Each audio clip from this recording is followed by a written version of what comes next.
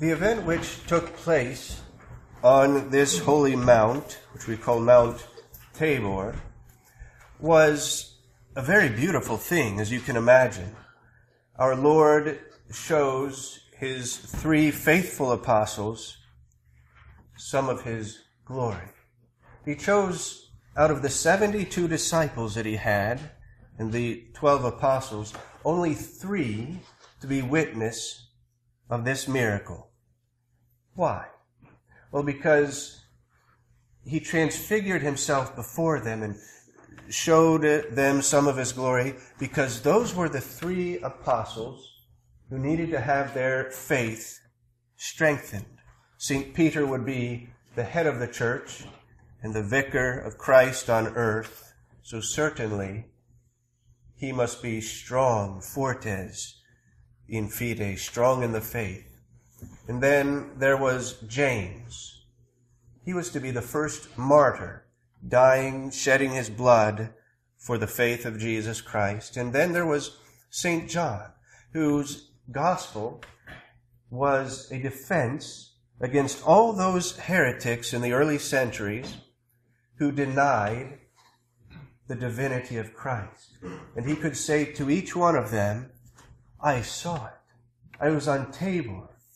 And there our Lord, his face became bright as the sun, and his garments white as snow. And then there was a cloud covering, and I heard a voice coming out. It was God the Father saying, This is my beloved Son, in whom I am well pleased. Hear ye him. And then Moses and Elias came back from the Old Testament to give testimony to the divinity of Christ. Their faith surely was strengthened. But the miracle in this gospel today was not the transfiguration. Did you ever stop and think about that? The miracle was not in that he showed his glory to the apostles, because that is his normal state, the state of glory. The miracle was that for 33 years he was able to hide that glory from being seen. That was a true miracle that lasted 33 years. But in any case, going to the gospel, the gospel on the first Sunday of Lent was read to us in order to urge us, to push us forward, to use this time of Lent well. We know it's a great season of grace. We shouldn't waste any of it. And it is meant as a time to cleanse ourselves from the stains of sin, to overcome temptation, no longer to play around with it, but to avoid its occasions like the plague. It is a time for the destruction of sin in our souls. But today's gospel for the second Sunday of Lent tells us that we must not simply be satisfied with merely avoiding sin, with merely keeping ourselves out of the state of mortal sin. That's not enough. But this, sadly, is the attitude of many Christians in our own day and age that it's enough to keep myself out of mortal sin. And if I do fall, well, then I'll just go to confession and try not to commit it again. But to go any farther than that, very few have the, that attitude. But I guess a good example is this. Imagine two married people. They both have the, only the same attitude. Well, I just won't offend my spouse. I won't offend them. So I won't say anything nasty, but I won't say anything good either. Mm, I won't leave the toilet seat, seat up, but I'm not going to put it down, you know, clean it and all of that stuff.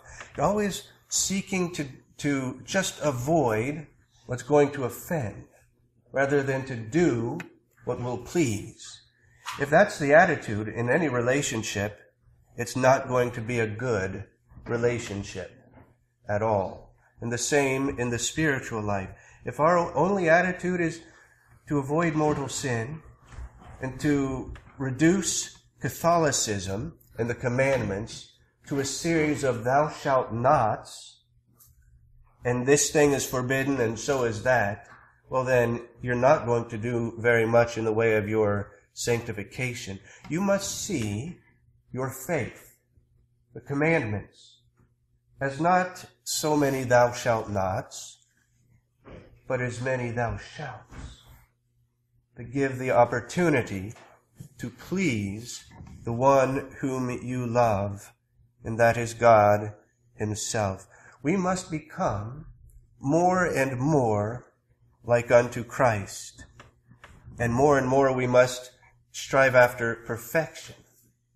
Many lay people think that perfection is merely for the priests and the monks and the sisters. But perfection is for every one of us according to his state in life. And God has marked from all eternity, has marked a certain degree of perfection that he intends each and every one of us to reach.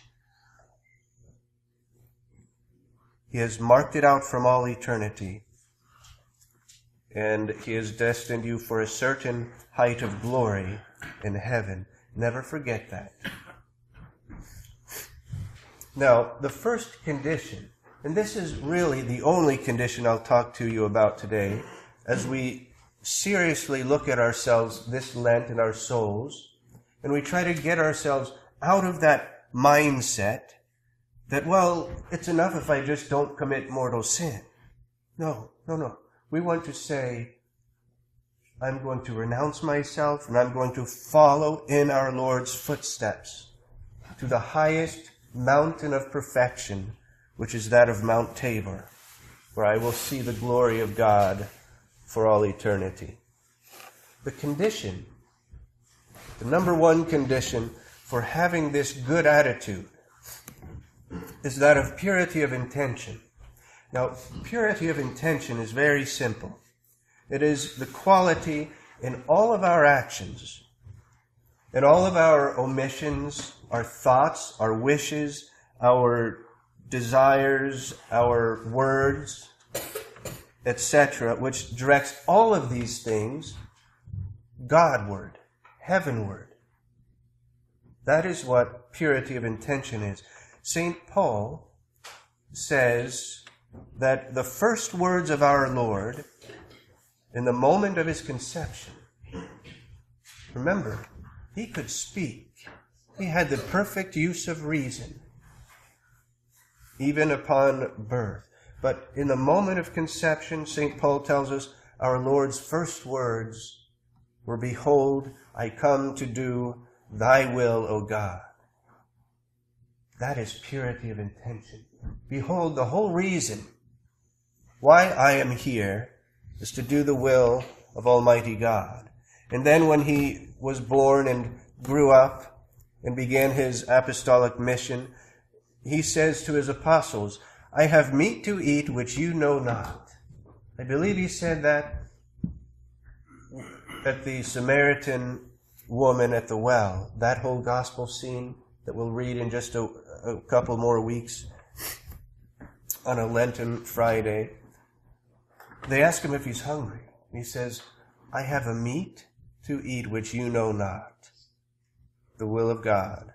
And when all was dark in his life and the passion was beginning, what were his words? Our Lord's words were, Father, not my will, but thine be done. Simple.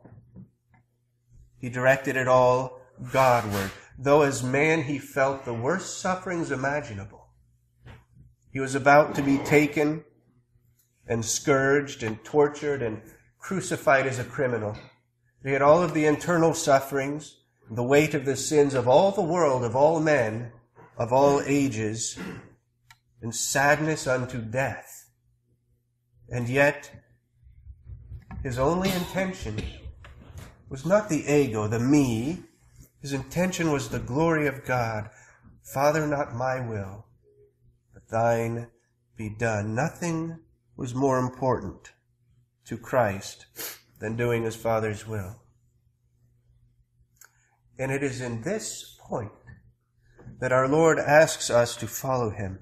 St. Paul tells us, Whatsoever you do, do all things for the glory of God. There it is in a sentence, that purity of intention.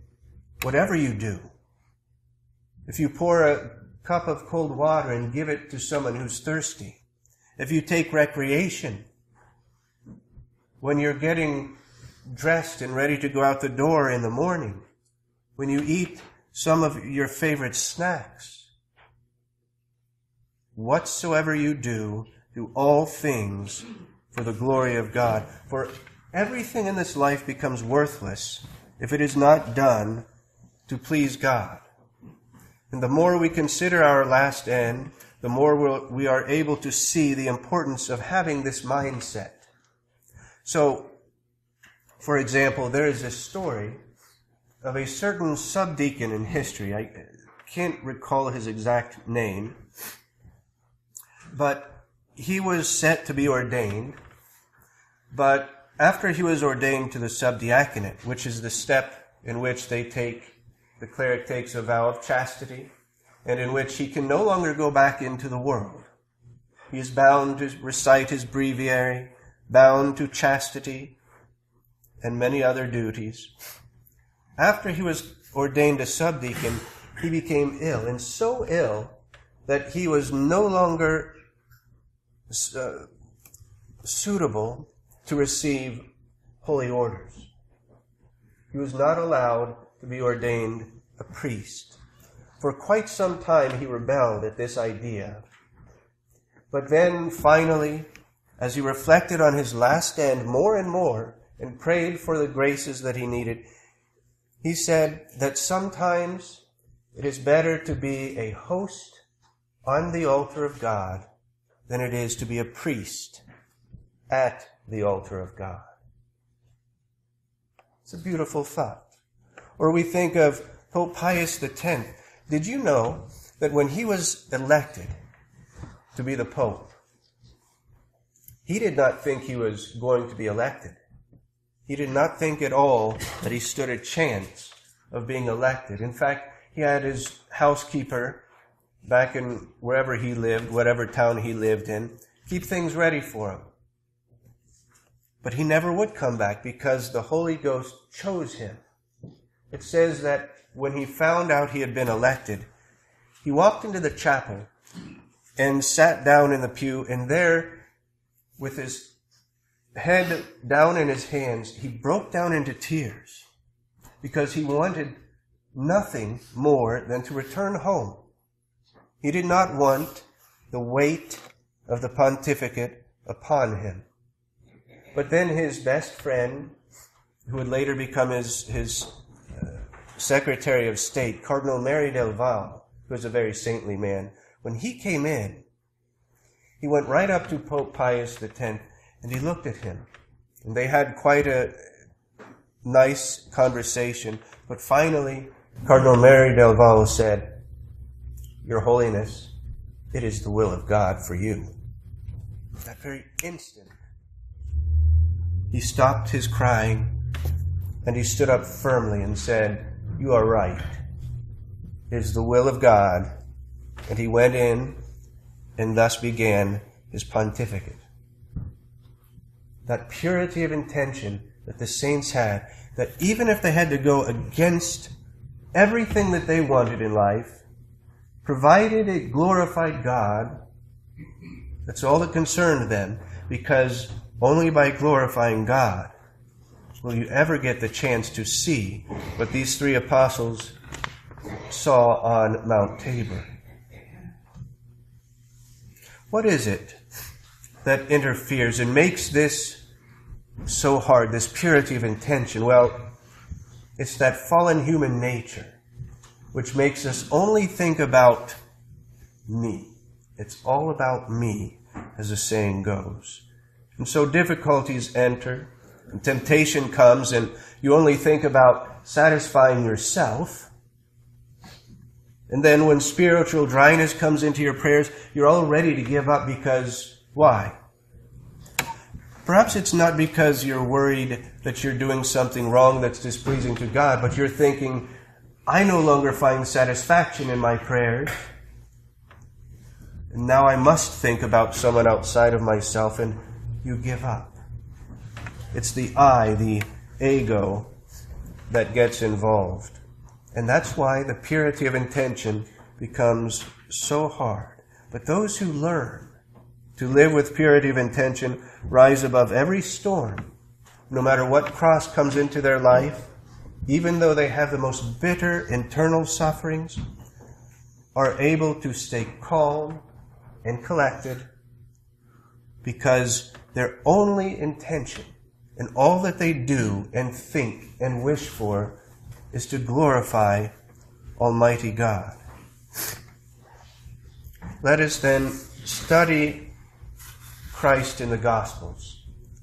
Let us learn and see how he always sought the will of God and to what great lengths he followed it, even to that of Mount Calvary. Let us imitate this purity of intention of the Sacred Heart of Jesus. In the name of the Father, and of the Son, and of the Holy Ghost. Amen.